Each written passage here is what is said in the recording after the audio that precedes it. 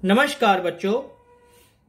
प्रश्नावली 8.1 का नौवा प्रश्न आज हम करने जा रहे हैं, कक्षा 10 देखिए, प्रश्न है, त्रिभुज ए बी सी में जिसका कोण भी समकोण है, यदि tan ए बराबर एक बटा रूट तीन है तो निम्नलिखित के मान ज्ञात कीजिए। तो देखिए बच्चों, यह एक समकोण त्रिभुज है,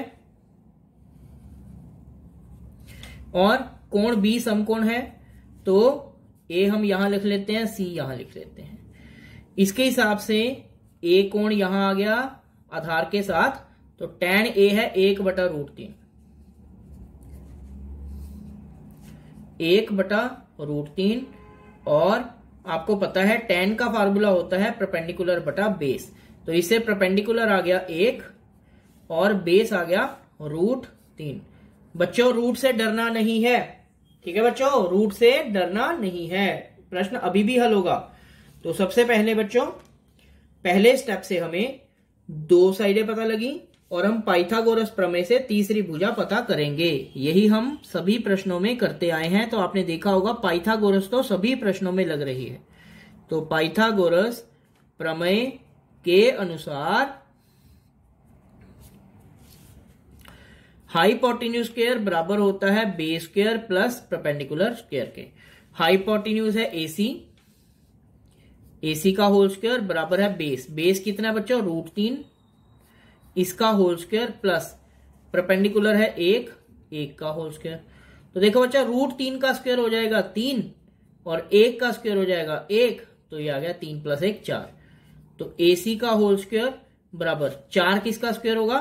दो का। दो का स्क्वायर तो स्क्वायर से स्क्वायर कट गया तो हमारे पास आ गया ए सी बराबर दो। अब यही वैल्यू ए सी बराबर दो हम यहाँ लिख देंगे।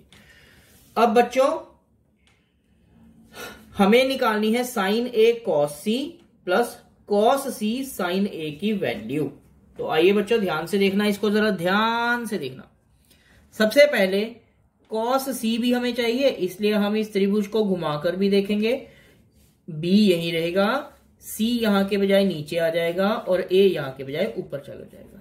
अब ए बी कितना है? रूट तीन। तो जहाँ ए बी है, वहाँ रूट तीन लिखना यहाँ नहीं रूट तीन की यहाँ नीचे रूट तीन है तो यहाँ रूट तीन। नो ए बी की लंबाई रूट तीन है तो ए बी है, अभी यहाँ आ गया। तो ए बी के साथ लिख दो रूट तीन। बीसी है एक। बीसी अब नीचे चला गया तो एक। ए सी दो है। ए सी को दो ही रहने देना है। ठीक है बच्चों? अब जो प्रश्न है, वह मैं लिख रहा हूँ।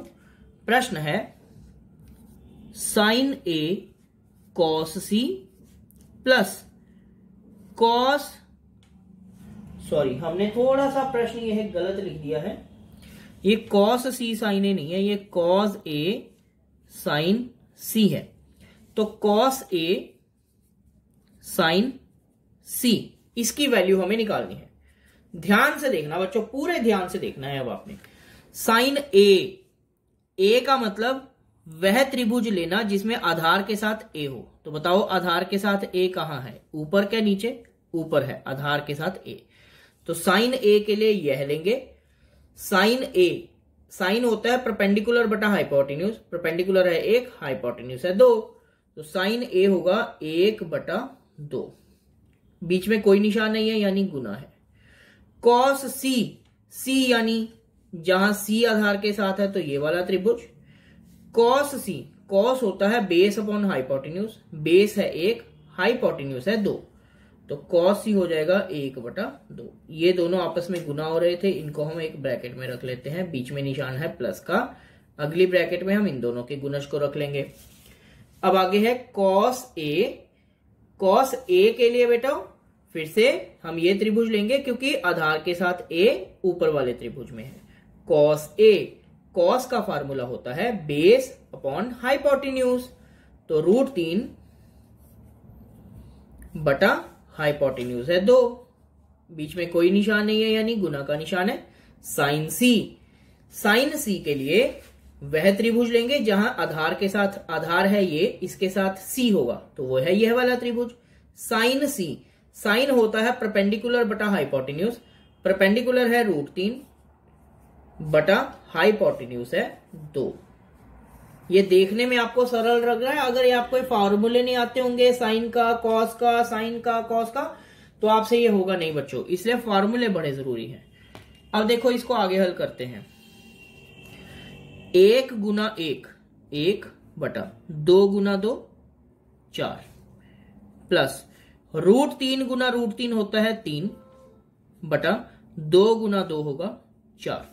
अब ये बन गया एक बटा चार प्लस तीन बटा चार। इसे हल कर लो। चार और चार का लघुत्तम चार। चार को चार से भाग किया एक एक गुना एक एक प्लस। चार को चार से भाग किया एक एक गुना तीन तीन। तो ये आ गया एक प्लस तीन। चार बटा चार। चार से चार कट जाएगा, चार एकम चार। तो उत्तर आ गया है एक। उत्तर आ गया है एक। तो बच्चों देखा आपने?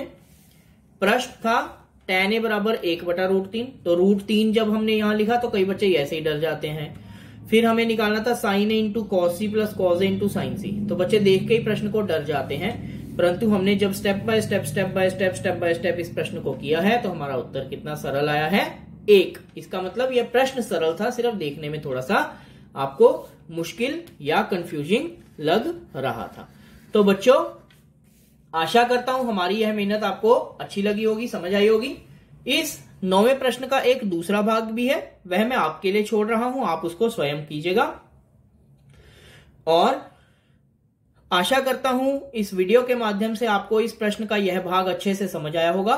इस प्रश्नावली के अन्य प्रश्नों को अच्छे से समझने के लिए आप हमारे चैनल को सब्सक्राइब करके वहाँ पर अन्य प्रश्नों के वीडियोस देखकर उन्हें अच्छे से समझ सकते हैं।